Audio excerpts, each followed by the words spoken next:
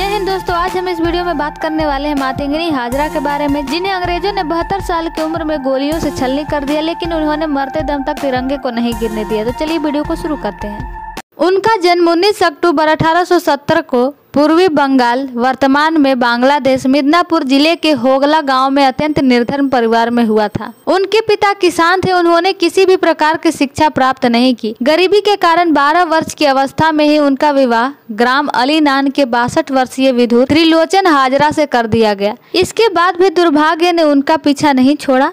18 साल की उम्र में वह निसंतान ही विधवा हो गई। सौतेले बच्चों ने घर से निकाल दिया। मातेंगनी मिदनापुर के तामलुक में अलग झोपड़ी में रहकर मजदूरी से जीवन यापन करने लगी। ग्रामीणों के दुख सुख में सहभागी होने के कारण वे पूरे गाँव में माँ के सम्मान पूजनीय हो गई वो महिला जिसे ज़िंदगी के बासठ साल तक तो ये भी नहीं पता था कि स्वतंत्रता आंदोलन क्या है। उनकी अपने गाँव और घर से बाहर की ज़िंदगी बड़ी सीमित थी, लेकिन उन्हें बूढ़ी गांधी के नाम से जाना जाता है। ऐसे ही अकेले रहते रहते उनको चौवालीस साल बीत गए। लोगों के घरों में मेहनत मजदूरी करती और उसी से अपना घर चलाती। धीरे धीरे लोगों से देश की हालात और गुलामी के बारे में जानने लगी। घर से बाहर निकली तो उन्हें अंग्रेज़ी हुकूमत का अत्याचार दिखा। धीरे धीरे वो लोगों से महात्मा गांधी और अन्य स्वतंत्रता सेनानियों के बारे में जानने लगे। सन 1932 में एक दिन उनकी झोपड़ी के बाहर से सविनय अवज्ञा आंदोलन में एक विरोध यात्रा निकली। आतिंगनी भी उस यात्रा में शामिल हो गई। उन्होंने नमक विरोधी कानून को नमक बनाकर तोड़ा।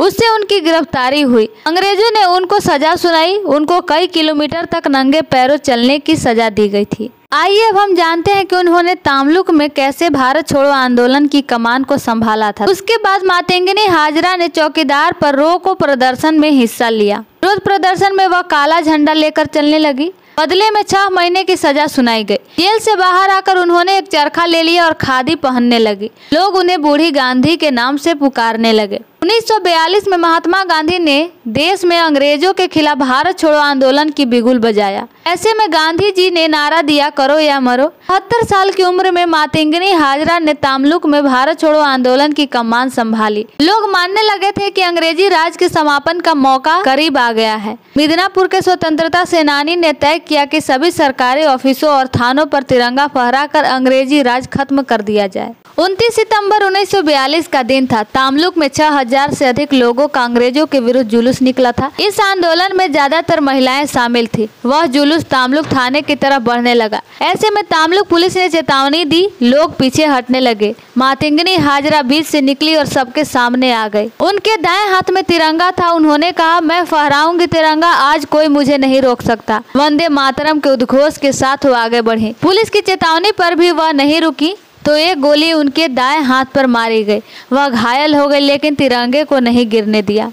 घायल मातिंगनी ने तिरंगा दूसरे हाथ में लिया और फिर आगे बढ़ने लगी। बहत्तर साल की मातिंगनी हाजरा ने पहली गोली लगते ही बोला, वंदे मातरम। पुलिस ने फिर दूसरा हाथ पर भी गोली मारी। वो फिर बोली, वंदे मातरम। लेकिन किसी तरह झंडे को संभाले रखा गिरने नहीं दिया। वह लगातार वंदे मातरम बोलती रही, झंडा ऊँचा किए रही और थाने की तरफ़ बढ़ती रही। तब एक पुलिस ऑफिसर ने तीसरी गोली चलाई सीधे उनके माथे पर। वो तो नीचे गिरी, लेकिन तिरंगा ज़मीन पर नहीं गिरने दिया। अपने सीने पर रखा और ज़ोर से बोला, वंदे मातरम। बदन पर गोलियाँ खाते रहने के बावजूद मातिंगिनी ने लोगों को हिंसा के लिए भड़काने की कोशिश नहीं की। गांधी जी के अहिंसा के सिद्धांत को डिगने नहीं दिया।